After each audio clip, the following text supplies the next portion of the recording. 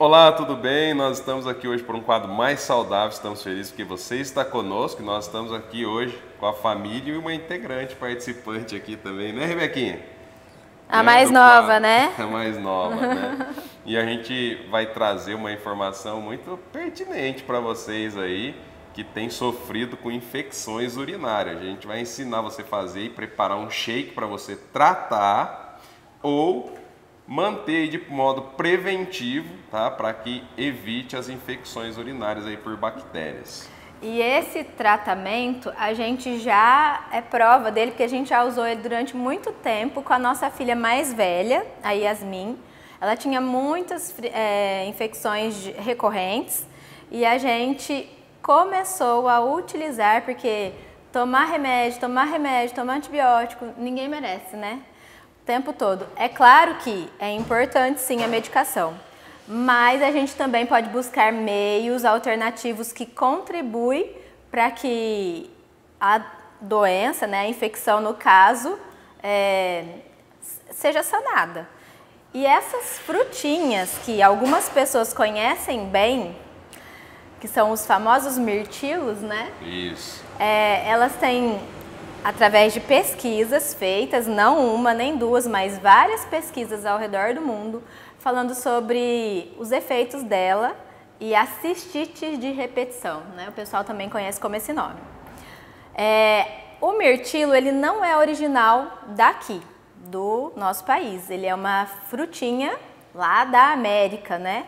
Da América do Norte, porque a gente também está na América mas a gente encontra raramente ele fresco e algumas vezes a gente encontra eles assim, ó, desidratado. Aqui na semente a gente tem é, a cranberry, que ela também é conhecida como a mirtilo vermelha, e o blueberry, que também é conhecido como mirtilo azul. Isso. E aí a gente vai ensinar o passo a passo como você faz para hidratar, para ele poder bater aqui, misturar nesse shake também, ficar uma consistência boa, tá? Então começou a sentir aquele ardor aí nas vias urinárias, né? É, viu que uh, a cor ali do xixi já ficou mais escuro, né? Já pode fazer o shake, começar o tratamento antes mesmo aí de você fazer um exame para saber de fato se você está com infecção urinária. E também fazer o uso da fruta, né? Isso, você é... pode fazer o uso aí de três a cinco vezes na semana como prevenção, tá? Algumas pessoas já sabem que tem infecção de repetição, né? É...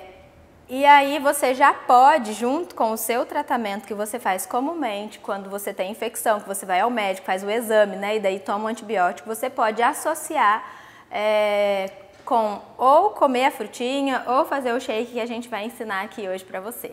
Isso. Vamos pro shake? Vamos lá.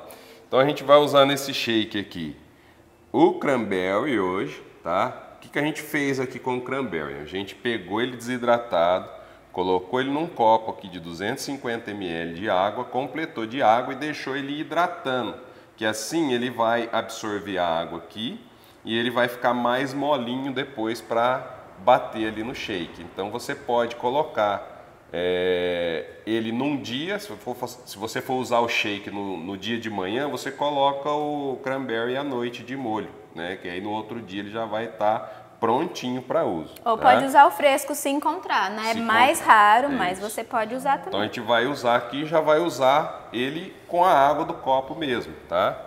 Então nós vamos usar aqui e qual que é a função do cranberry, Gabi? Aqui, como que ele vai atuar nessa questão da infecção urinária? Na verdade, o mirtilo, ele tem a capacidade de fazer as bactérias desprender ali da parede da bexiga. Então, tem muitos estudos que falam que ele é muito atuante na prevenção e tem muitos estudos, inclusive um estudo que associa o uso do cranberry com o própolis, que vai ajudar é, também na, quando você tiver em infecção urinária, vai te ajudar, é, de repente, se você tem recorrente, vai te ajudar a ter menos, ter, ser menos frequente e vai potencializar o seu tratamento farmacológico que você faz. E agora um outro ingrediente aqui especial que a gente vai usar, a gente já falou dele em outras vezes aqui, que é o leite de coco, tá? O leite de coco ele possui funções antibióticas, né? A gente já mostrou aqui através de estudos que nós lemos que pessoas que ali com infecções, no caso a gente falou aqui de resfriados e gripes, né, por vírus, bactérias, que fizeram um tratamento com óleo de coco, leite de coco atrelado ao medicamento, elas se recuperaram de forma mais rápida do que aqueles que não fizeram. Então nós vamos usar porque ele é um antibiótico natural. Muito poderoso. Isso. E aqui você encontra ele na semente em pó né? Nós temos ele aqui em pó e você prepara ele com um pouquinho de água também. Ou esse, você pode colocar direto ali também na receita. É, esse daqui, na verdade, a gente fez na fruta. Lá em casa a gente tem muito costume de usar o leite de coco. Então a gente tira o coco seco da polpa e bate ele no liquidificador com água morna e depois coa e daí você tem o leite. Então esse foi feito desse jeito. Então aqui vai uma xícara, cerca de 120 ml de leite de coco nessa receitinha desse shake aqui, tá? Esse shake chamamos ele de calmante urinário, tá? Que vai aliviar bastante essa questão da infecção. E depois a gente vai usar aqui um outro poderosíssimo também, que é o limão, né? Um poderoso antisséptico urinário, tá? Então, a junção de tudo isso aqui, né? O cranberry ajudando ali as bactérias a se desgrudarem das paredes da bexiga, o leite de coco como antibiótico e agora aqui nós vamos usar um antisséptico urinário que é o limão. Aqui nós temos duas colheres de sopa de limão e a gente vai colocar aqui também. E aí é só bater tudo isso aqui e o shake vai estar pronto, tá? Agora nós vamos bater aqui todos esses ingredientes.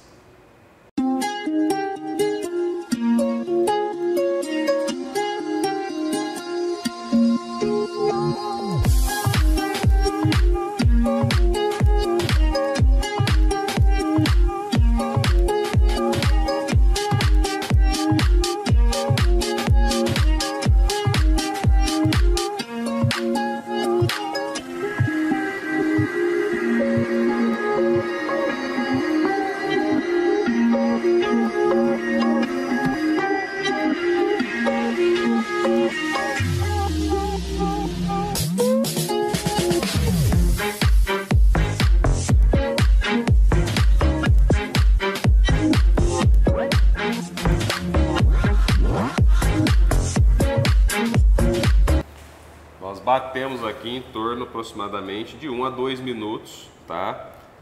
Para triturar bem o cranberry aqui. E aí depois é só se servir.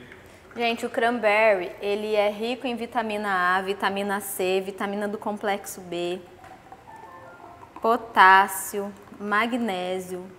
Ele é poderoso. E, e fora que ele é muito gostoso. Se você não experimentou, ele é muito gostoso. Quem vai provar? Fique à vontade.